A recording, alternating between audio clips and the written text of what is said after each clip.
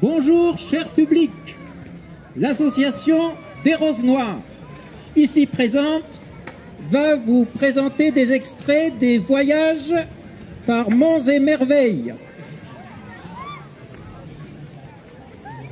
Et nous allons commencer au Pakistan. Pakistan. Dans le pays des purs, remontant les provinces qui donnèrent leur nom au nouveau Pakistan. Prenez le fleuve Indus auprès de Karachi, la première capitale creusée des déplacés, par-delà les vestiges des civilisations éteintes parmi les sables des licornes disparues, vers la source des eaux dans le Karakoram, où les cornes d'une chèvre sont plus fortes qu'un serpent en délaissant Gilgit et son roi cannibale, et les vallées où pousse l'abricot de longue vie, passer la vieille mosquée du soufi missionnaire, sans franchir le Mustag en suivant la flèche bleue, au risque d'y perdre la tête par une épée d'argent, ni le glacier des roses, cimetière des soldats, où errait un nuage dans sa quête d'amour, plus fort qu'une alouette ou qu'un vol d'hirondelle, vers ce second sommet qu'aperçut l'arpenteur, dit mon Godwin Austen, qui ses pentes étudia, amoureux d'une patane et chasseur d'escargots, ou nommé Chogori par le peuple balti qui transmit aux sportifs sa passion du polo quand son roi y jouait avec des têtes d'enfants, affronter le K2 et son tombeau de neige, te méfiant des promesses de campements incertains, mais guidé sûrement par une corde fraternelle, défiant les embûches qui te guettent à chaque pas, ramonne la cheminée, tu boiras au goulot pour mieux apprivoiser cette sauvage montagne. Pyramide des monts noirs, quand je t'aurai conquise, sommet le plus au nord des neuvièmes kilomètres, 8611 mètres du troisième pôle des glaces, dont la pompe des mariages irrigue les semences, déjouant de la mort la capricieuse escorte, je soufflerai vainqueur sur le dauphin du monde. Et maintenant, nous allons aller en Palestine. La Palestine.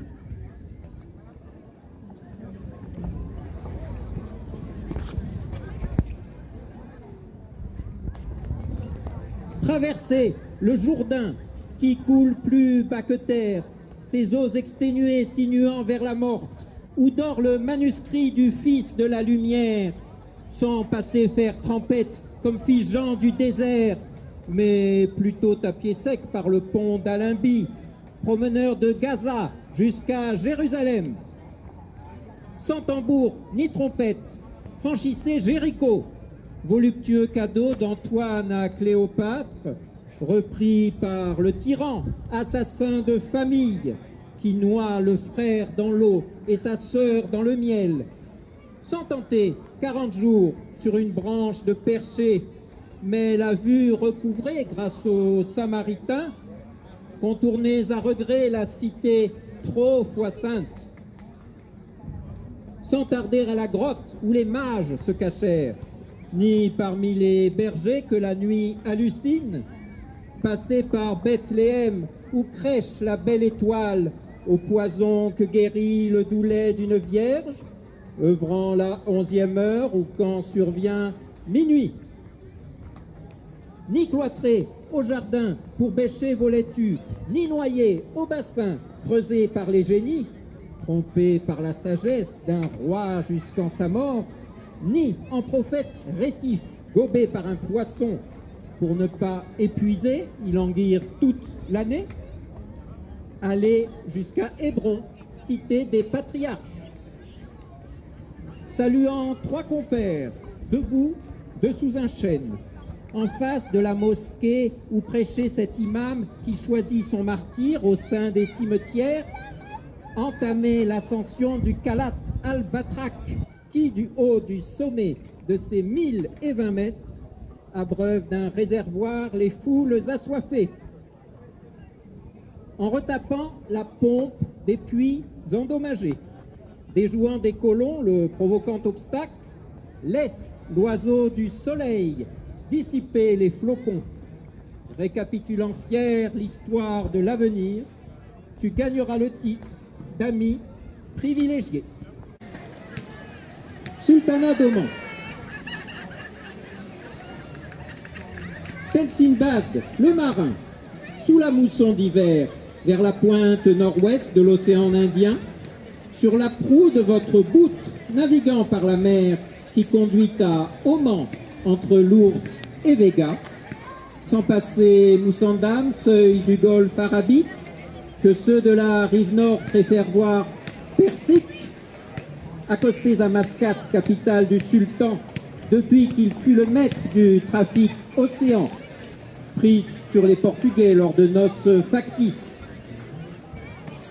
Par les dix mille canaux que creusèrent les djinns afin que les étoiles nous dispensent leurs eaux, entre le ventre des mers et le dos du désert, pénétrons dans les terres au pays de l'imam, qui fut chassé du trône par l'avion britannique et que diables et vents protègent du haut des tours.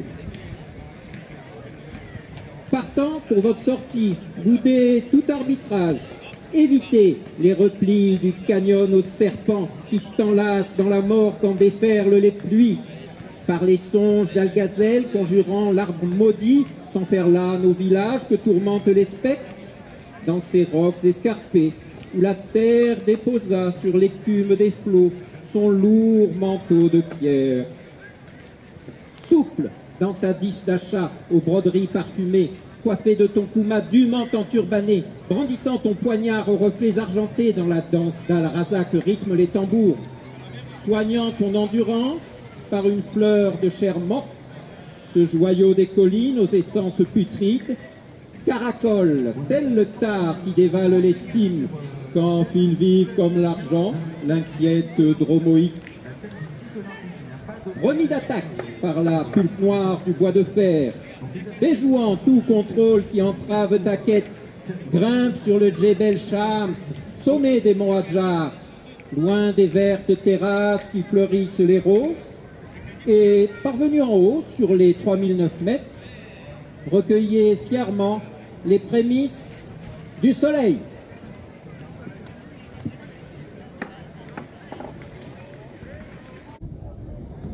Ouganda.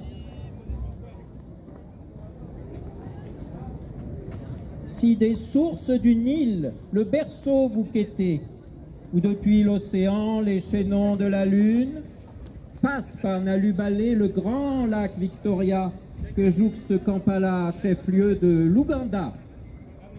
Boudant l'aéroport et ses prises d'otages, au long de l'équateur, par-delà le taureau, suivez l'ex-voie ferrée direction KCC, entre l'eau du lac Albert et celle du roi Édouard.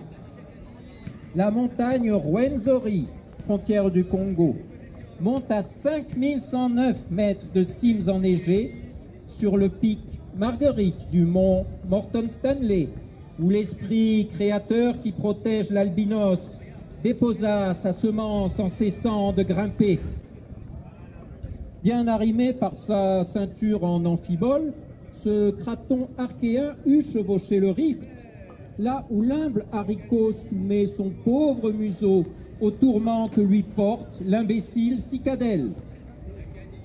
La couleuvre vénéneuse, à l'odeur de réglisse, se suspend au feuillage comme une liane d'ébène. Les caméléons pointent l'étrange bout de leur nez. Le colobe mutilé couvrit son front de neige, veillé par Calicia, la moitié d'un humain. Et cette vipère des arbres dont les poils se hérissent quand tes cheveux se dressent à la voir tant hirsute. Bonjour Étienne.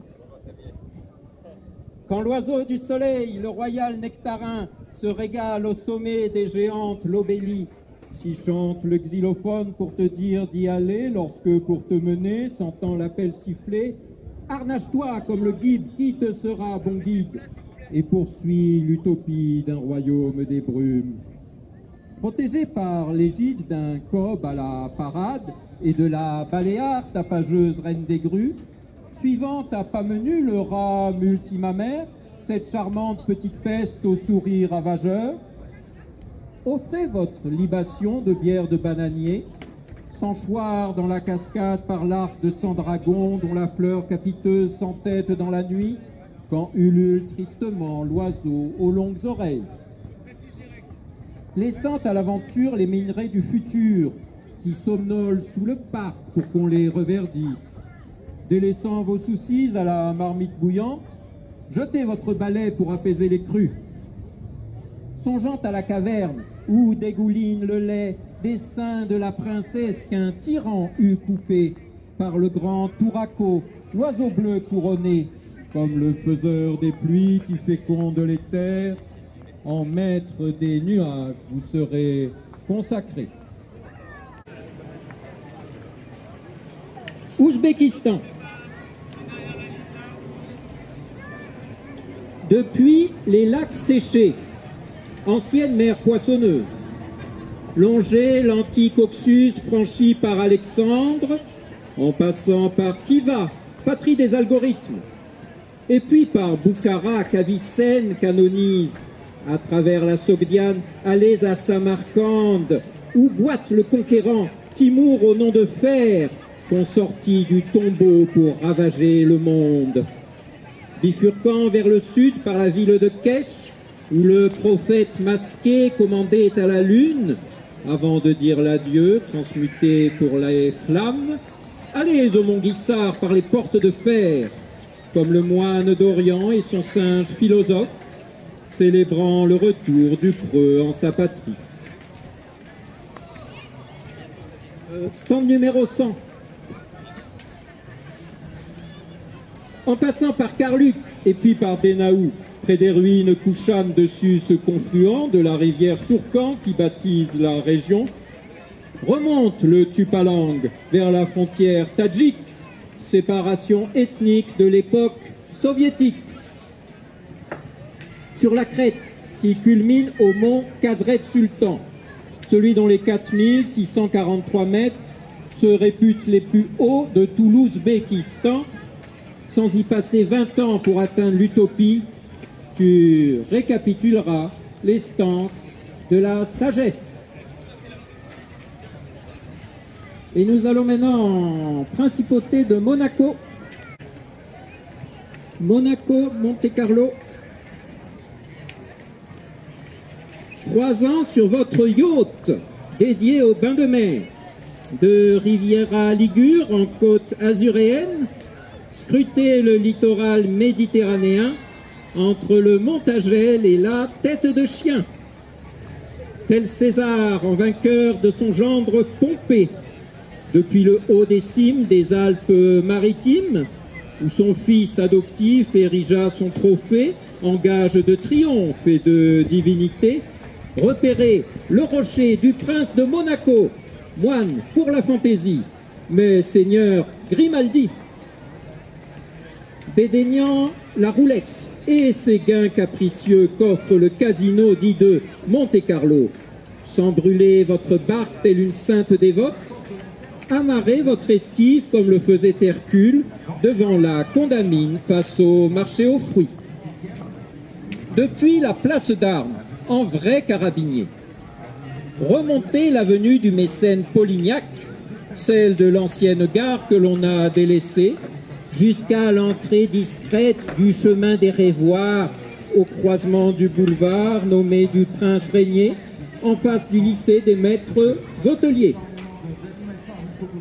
Sans les facilités que l'ascenseur confère, prenez les escaliers, montant pour rencontrer l'avenue du notaire, ami des vieilles gens, sans pousser au jardin des fleurs exotiques, ni aux vieux oliviers de princesse Antoinette.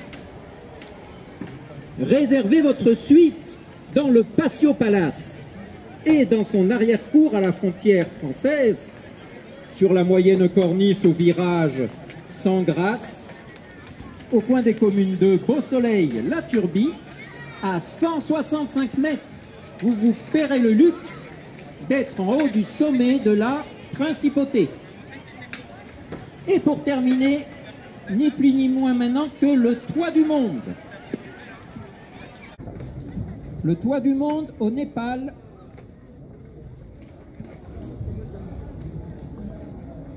Pour terminer en beauté, tentez l'Himalaya depuis la plaine du Gange, en allant au Népal depuis Biratnagar, la ville industrielle aux 400 buffles sauvages. Remontez la Kossi, la rivière du chagrin, où le dieu sanglier terrassa le démon. Par-delà les collines des tresses de Siva et les chaînons épiques du Mahabharata, en route d'Okaldunga qui enferme ses poètes, mais chante la République en guirlande de fleurs. Boudant l'aéroport du monde le plus risqué, l'ophophore resplendit dans les rhododendrons et offre à Hilary, sur son pont suspendu, l'écharpe de prière en gage de bon augure. Choisissant votre yak au bazar de Namché, capitale des Sherpas aux toitures colorées, sous les yeux de Bouddha, l'omniscient protecteur, qui te guide impartial du haut de son stupa, ne grimpe pas au piolet la statue de Tenzing, mais vénère pieusement au sein du monastère le crâne d'un yéti, adorable homme des neiges. Célèbre le gourou né d'une fleur de lotus, où l'empreinte du lama se fit réincarner, tout en laissant tourner les roues de Samsara qu'égrènent les moulins de la voie du diamant, et tu pénétreras dans la vallée secrète, cherchant la compassion par l'illumination. Les drapeaux entrelacent les martyrs du sommet, caressant de leur peine leur mémoire de pierre, tandis que meurent les craves autour du lac de sable. Les glaces acrobates du chaos de Sérac avalanchent leurs cascades sur des champs de crevasses et te traînent dans les transes de leur balles de la mort jusqu'aux brûlantes gelées de la combe du silence. Le roc noir t'éperonne, défie la barrière jaune et parvenant au col du mortel campement, n'ajoute pas de couleurs au feu de l'arc-en-ciel pour ne pas t'allonger près la belle endormie. Par la voie du triangle, va grimper au balcon qui conduit à la cime de Sir George Everest. 8848 mètres enneigés. Tu tiendras tête au ciel sur le Sagarmatha en redevenant digne du grand roi du Dharma. Merci, cher public. L'association des Roses Noires vous attend au stand numéro 100 pour la suite de la programmation après ces extraits des voyages par Monts et Merveilles. Stand numéro 100, à bientôt